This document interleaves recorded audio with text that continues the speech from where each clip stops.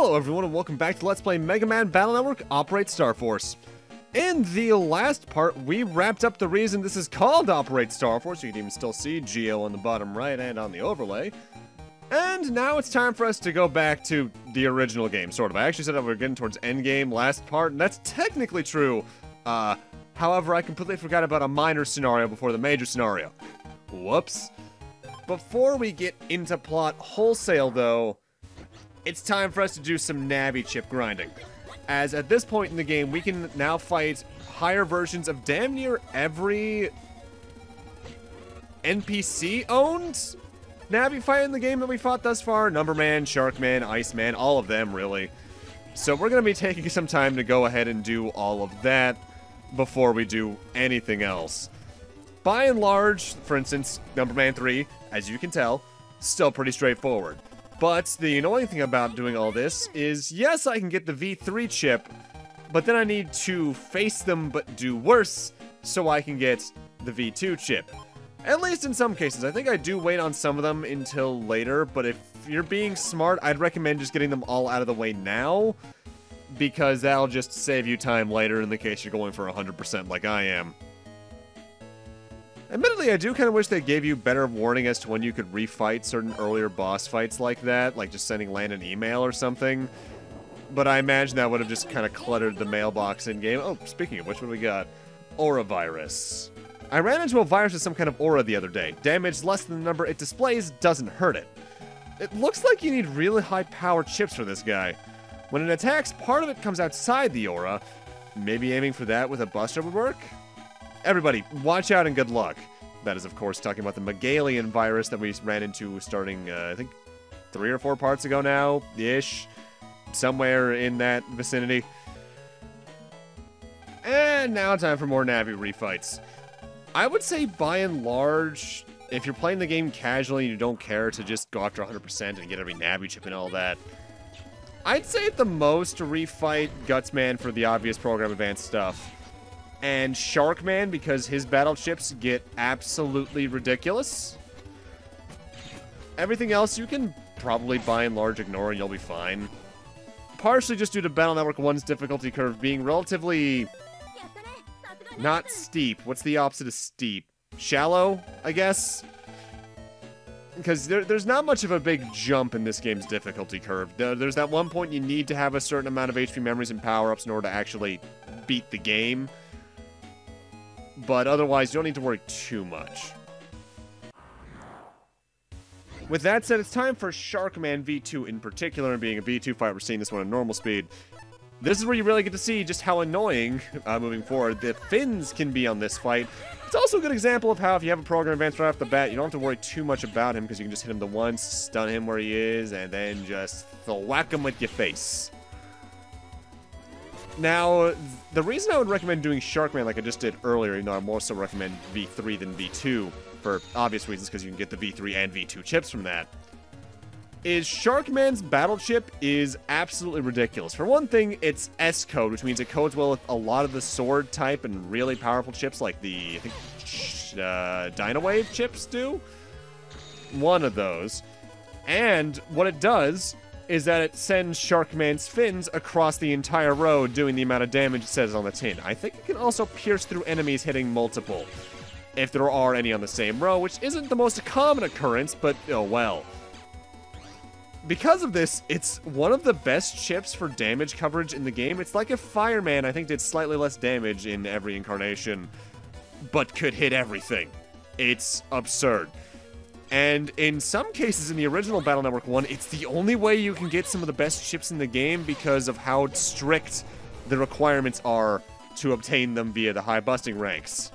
Sharkman S and its cousins later down the road, phenomenal. Absolutely worth your time. And any kind of annoyance you might have trying to get V3 uh, from the third fight, because oh boy, Sharkman 3 is a nightmare. With that said, while we're here, let's go fight Iceman as well, take care of some stuff with that. I could have potentially sparsed these out better, but I figure it's just probably better to get them all done now while you can in case you like some of these battle chips and want to get them. Admittedly, the saving grace slightly about the series is that chip grinding is an important thing throughout for 100% yes. But the worst games to chip grind in are technically the first two in the series? Because Battle Network 3 Beyond has ways to make the chip grind easier on you, between the sub chips they give you as well as a certain Navicust program, making it a lot easier to get battle chips over Zenny and vice versa. With that said, there's some cases where it's still annoying from then on, just due to how, for instance, 4 and 5 handle their viruses. But that's just because of poor structuring in those latter games. The series is so weird to look at from a retrospective angle because they hit a really tight curve in 2 and 3, had a gap of thought with Network 4's choices, started back on the right track for 5, and then nailed 6 completely. 6 is probably the overall tightest game in the series mechanically. Because there's nothing that really feels unneeded or extra in that one. Whereas I could definitely say there's parts of 3 that feel a bit too extra for their own good and stuff. Now, this particular NPC, I actually could have talked to earlier, I believe. Uh, apparently this vending machine's having problems, so we can jack into it and do another completely unmarked side quest that this game loves to do oh so much. Just make sure to save because you'll be fighting some new viruses here. What are you doing there? Now that you've seen me here, I must delete you. We have two new viruses in this fight, a Hardhead 3, no, this is a Hardhead 2 actually, and a Flow Shell 2. Uh, the Hardhead 2 is the exact same as Hardhead ones we saw back in Internet 2, except they have 70 HP, 30 damage, and I think they attack more quickly. Flow Shells are defensive viruses. They're covered with a shield for most of the fight, which you can either just aim behind using things that attack two panels, or you can charge attack it or hit it with a strong enough attack that it'll just bounce the shield up and then you can start attacking them outright. They're defensive and their only attack otherwise is to randomly spread bombs over your field, usually three at a time, I believe, that you can't exactly easily predict where they're going to go. And that's the side quest. Once we talk to him, it's done. Thanks, I got my cola. This brand is only in this machine. I can't work without it. Take this for your trouble. The repair G isn't the most useful. I think that might be used in a program advance. Maybe there is a repair chip used in a program advance. I can't remember which one it is. Chaud, he went to Dentown. He said that he heard that a World 3 member's there. His job? Well, but he's supposed to find World 3's address. That's why he's looking for members, I guess. Cool. And that's also the main reason we're here at the government complex. That's the name of this place because we were supposed to come here to meet Chaud, at least according to Dad, but he's not here, so guess we're out of luck. Also notably, if you come down to the restaurant at this point in the game, we have some new NPCs down here. My girlfriend said she wants cute chips. All I have is this Wood Aura C. She'll get mad if I give her this. I don't suppose you trade this chip for an Invis 2J, Big Cloud K, and Raton 3L? Please. Now that seems like an extraneous amount of work. Three chips for one? Yes and no. Because that is a lot of work for that one chip, because some of those aren't exactly the most common codes of those exact chips. But the Wood Aura chip itself, which is dropped by, I think, the third variant of the Megalian, is damn near pixel frame perfect to get otherwise with manipulations. It's absurdly hard to get, so that is the best way to get that chip. Outside of technically using the chip trader, but again, that's more RNG manipulation that I don't know how to do and do not feel like doing on recording because that's a lot of effort for low returns. If you're a World 3 member, then you know about the Undernet. Tell me, now. I said I don't know anything about World 3. Ugh, another false lead. How will I get into the Undernet? Uh, you again. I'm busy here. Leave me alone. What's your problem? I heard you were having problems, so I just came to help. Why would I ever need your help? Out of my way. What a jerk! Hey, Lan. Yeah. I don't want to help Chaud, but we have to stop the endgame. Mega Man, let's try to find the World 3 server's address. Okay, first we'll need to get into the internet. Chaud just said that any World 3 member should know how. Well, we know a World 3 member, don't we? Before we head on back to a certain shop, though. Uh, at this point, Skullman 3 is also available to fight, so let's make sure we go ahead and do that and get one of his two battle chips. Skullman might be my favorite Net Navi to just kind of go into the game and fight. I don't know why. Maybe it's the fact I like his design and he's relatively underutilized. I remember loving the manga chapter that he was from. Uh, mostly because Lan just jumps out of a bus to try and save Mega Man. You know what? I appreciate that kind of appreciation for your homies. I haven't really talked too much about the manga in this LP, have I? Uh, the Mega Man Battle Network manga is an old favorite of mine, partially because it was the first manga I ever read. My mom used to work at a Borders here in the States, and she brought me the first one home on a whim because she knew I liked Mega Man, and I, I forget if I had seen the uh, the anime at that point or played the games. What I think the manga may have been my first exposure to the series, maybe. And at times it's dark, but it's ultimately a really cool series. Really well done, and I love the art of it especially. Go on, beat it. Lan, challenge John to a net battle? At this point, we can now tackle on Proto Man V2. With that said, while he's faster and more agile with his attacks, he's still the same fight we did a few parts ago. In fact, his HP barely boosts.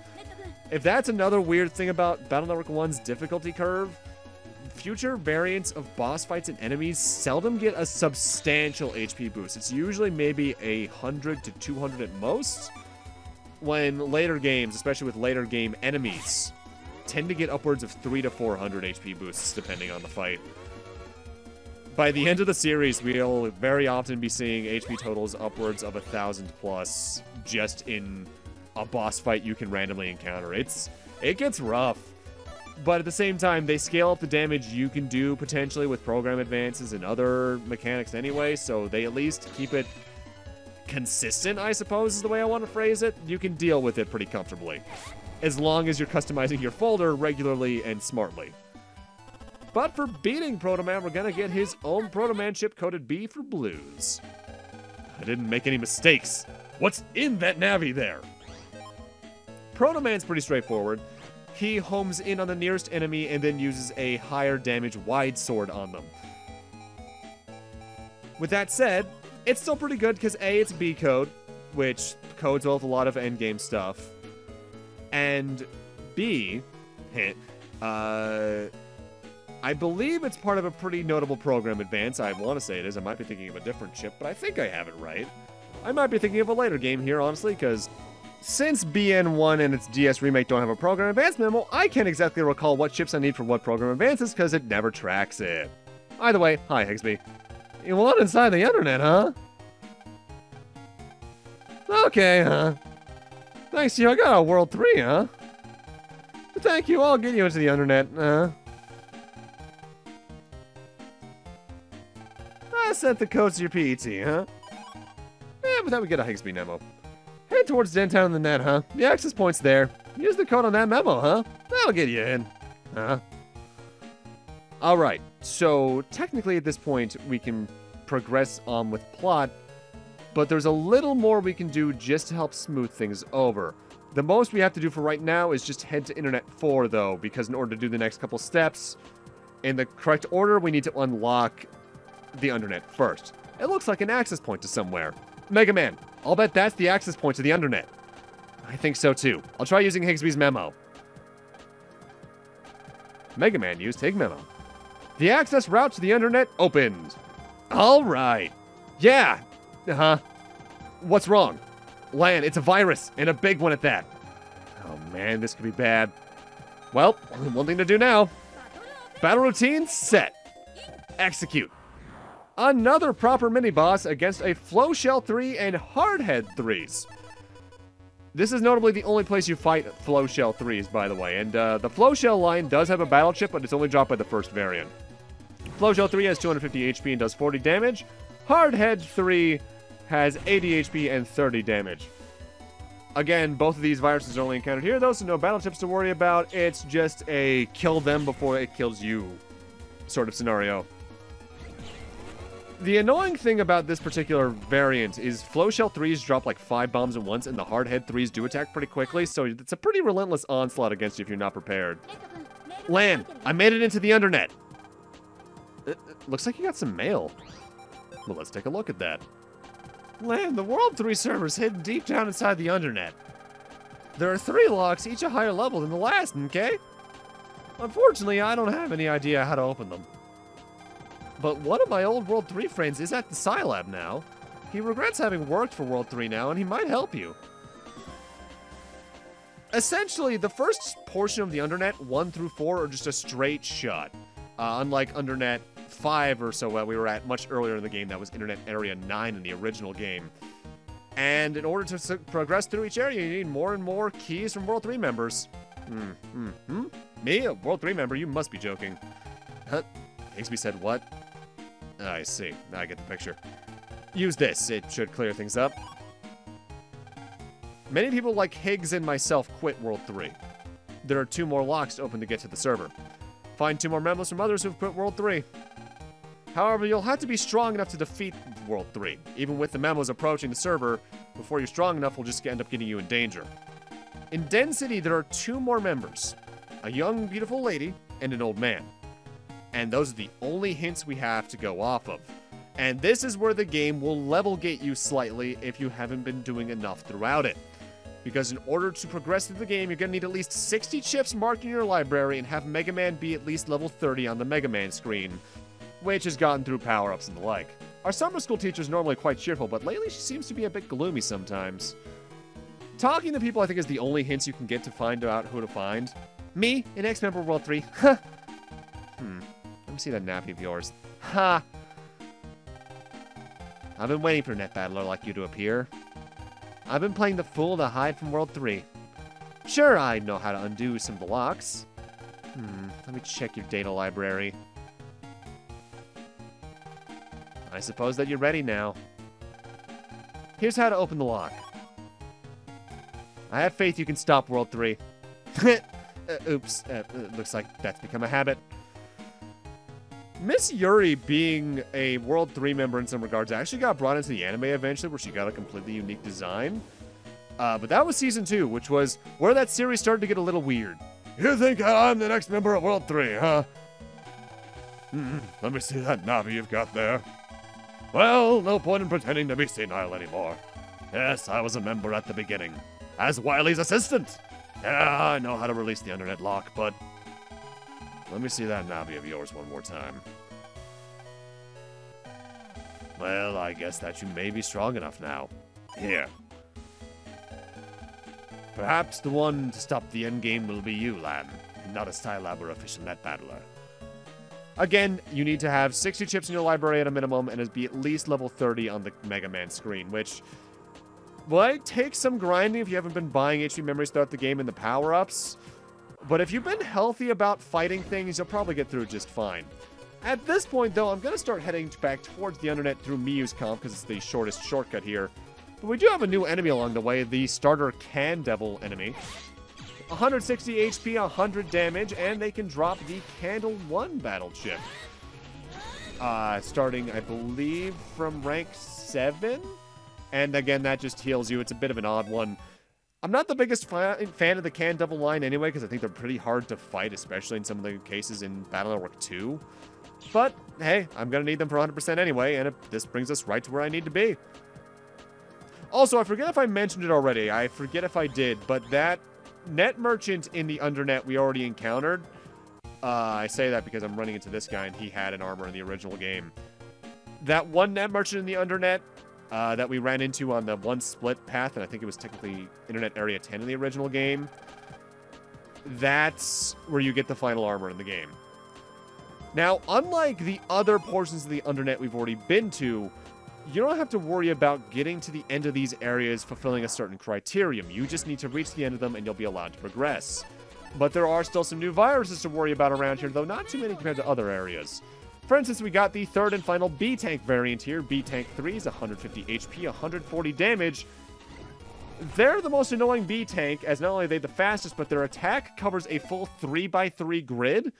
So in order to make sure you don't get hit by them, you need to be on any of the extremes of your uh, side of the field to not get hit. Or have area steal on hand, on standby.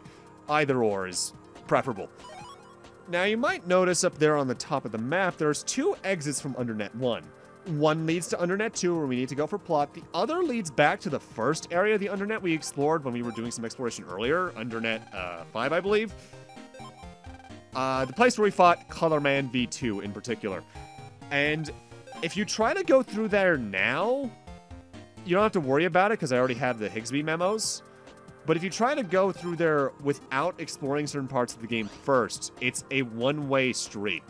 I believe in particular it's if you try to go to internet uh, to undernet 1 through undernet 5 that that happens, I think. Bottom line, at this point in the game already, I believe. I don't have to worry about that. Oh, also, something I forgot to mention about future Mettaur varieties, Mettaur 2 in particular on. Uh, ooh, there's the guy on one chip. Uh, Mettaur 2 is beyond. They shield themselves beneath their helmets uh, when they're not the one that's actively trying to attack you. And that means you can only theoretically damage one at once. Uh, later games will add a break element to break through their helmets as it is period. But if you catch two of them on the same row in the period after one just finished attacking and the others get out, getting out of their helmet to attack you, you can hit them both at once and not have to worry about that. Whether or not that was intentional to start, I'm not sure, but it definitely was memorable enough that they kept it in the future games, and I'll, I'll take it. It makes getting Dynawave chips really easy, and I love that chip line in basically every game it appears in. Those World 3 jerks have set it up so that you can't get back through there. Once you go through there, you can't get back. Sheesh. So as I mentioned, we can now access Undernet 5 pretty quickly, but you can only go back through that shortcut if you have the Scilab memo at the least that we got from that scientist guy a few minutes ago. But with that, I'm going to need to end this off here. Thank you guys for watching, and in part 19, we're heading into further portions of the Undernet that are not as further portioned as we've already further portioned, so to speak. See you guys then. As soon as I use the Scilab memo, there we go. I timed that a little poorly, but oh well, goodbye.